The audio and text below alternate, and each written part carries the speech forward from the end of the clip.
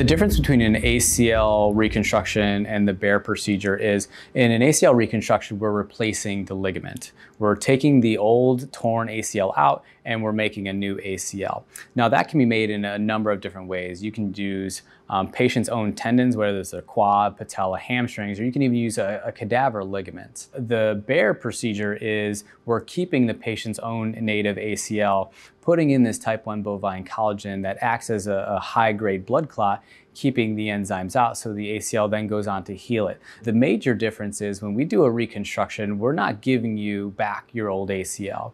The old ACL has certain properties that allow for stability of the knee, whereas with the BEAR procedure, your ACL heals itself, thereby restoring those properties.